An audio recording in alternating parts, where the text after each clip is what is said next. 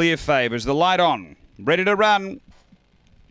Dasaki off the inside, draw the fave away. Dasaki steps well, is going to push up. Will it get the lead? Hunts through, got the front. So Dasaki leads early. Linko Bale second a half away. Uh, then came Paddy Maxon behind those Pure Presence. Then Destiny Surfer. Next is Venetian Mast from Mary Cam. And back at the tail, Jed Manelli, but down the back. And it's Dasaki out by a length. Linko Bale sticks on. Uh, three or four away, Paddy Maxon. Behind those, next Destiny Surfer. A real race on up front. Then came Pure Presence. It's Dasaki and Linko Bale. Linko Bale and Dasaki clear of Paddy Max. Linko Bale the inside pulling clear. Linko Bale beats Dasaki. Third Paddy Max and then Pure Presence. Next Destiny Surfer from Jed Manelli, Mary Cam and Venetian Mask is back at the tail. The time here it's around 35 and 10. Linko Bale for Kim Johnston proving too good here.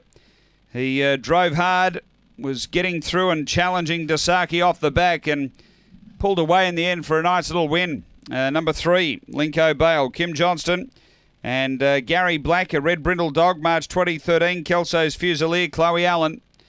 Uh, second, going to one, Dasaki, Jamie Quinlivian, a black and white dog, April 2013, Disraeli Wooloo. And eight, which is uh, Paddy Max third, Gino Grigorovic, a brindle bitch. Uh, March 2014, Paddy Wacker found her fancy. So numbers here are 3184 after race five at Angle Park.